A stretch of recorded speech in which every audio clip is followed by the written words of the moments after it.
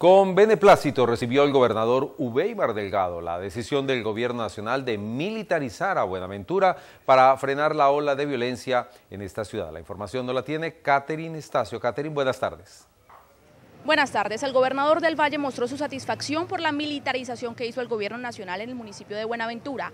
Aseguró que espera que esto reduzca la criminalidad en el puerto, pero pidió además la militarización de la vía al mar, donde hay varios socavores de explotación minera.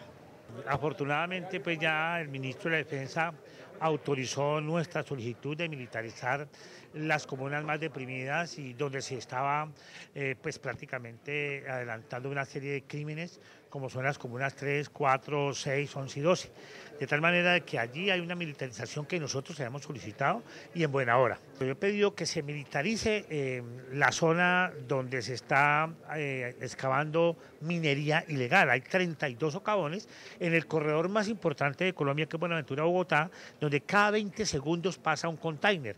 De tal manera que si nos cae la vía, se cae la economía del país. El gobernador del Valle reiteró su solicitud al gobierno nacional para que la mercancía de contrabando que sea incautada en Buenaventura se quede en el puerto no solamente con la militarización, creo que hay otras alternativas importantes, cuál es la ayuda humanitaria que el gobierno nacional nos va a dar a través de la DIAN, porque hemos solicitado también que el Ministerio de Hacienda autorice que toda la mercancía de contrabando que entre por Buenaventura, pues que se quede para una ayuda humanitaria a esas comunas que han tenido una situación lamentable de sangre.